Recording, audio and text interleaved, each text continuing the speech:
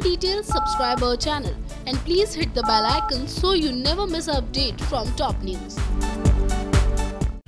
Colors TV पर telecast हुए serial Bahu Begum से जुड़ी लेटेस्ट अपडेट लेकर हम आपके बीच हाजिर हैं वेल जल्द ही कहानी में देखने को मिलेगा एक बहुत बड़ा ट्विस्ट वो भी हल्दी के दौरान यानी देखने को मिलेगा कि किस तरह होगी अजान और नूर की हल्दी, लेकिन उस बीच अपना इश्क ज़ाहिर करती हुई नज़र आएगी आप सभी की शायरा। जी हाँ आपको बता दिया जाए तो शायरा हल्दी के दौरान सभी हदें पार करती हुई नज़र आएगी। यानी अजान और शायरा के बीच देखने को मिलेगा एक प्यारा सा रोमांटिक ट्रैक इसके बाद ये देखना दिलचस्प होगा कि क्या ये हल्दी की कहानी बदल देगी इनकी ज़िंदगी। यानी शायरा का फैसला क्या बदलता हुआ नज़र आ सकता है या नहीं, ये जानना होगा काफ़ी ज़्यादा इंटरेस्टिंग तो इसी के चलते फिर एक बार एक नया ट्विस्ट भी आएगा हल्दी के ही दौरान। यानी पुराना दुश्मन खालिद भी लौटने वाला है हल्दी के उत्सव पर।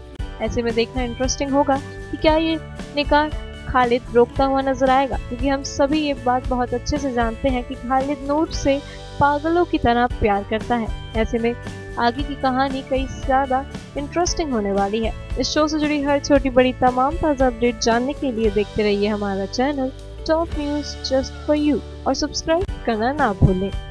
टॉप न्यूज़ से की report For more details, subscribe our channel and please hit the bell icon so you never miss an update from top news.